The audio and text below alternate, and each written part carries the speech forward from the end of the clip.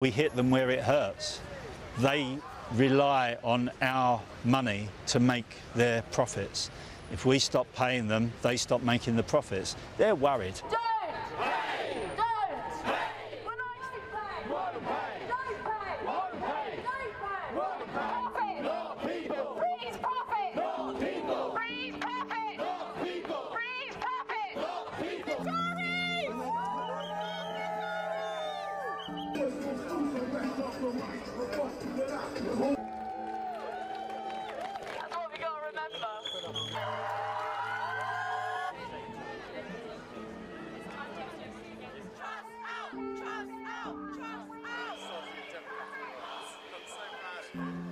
Numbers are important. I personally don't think getting to the million is the crit- critical thing.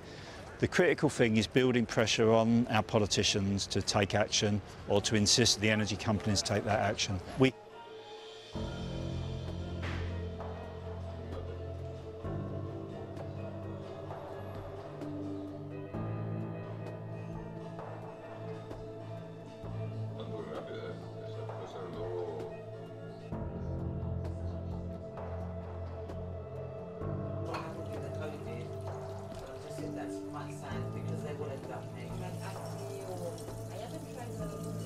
Regardless if they reach a million or not, I really don't want to pay my bill.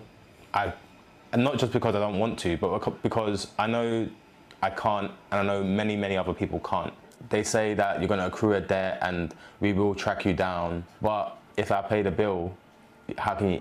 This year, they want £116.81 pence a month. Mr. Speaker, I beg to move the motion. Earlier this week, I promised I would deal with the soaring energy prices faced by families and businesses.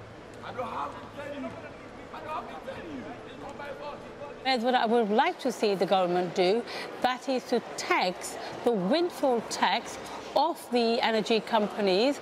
They have made obscene amount of profit, more than 100 billion combined.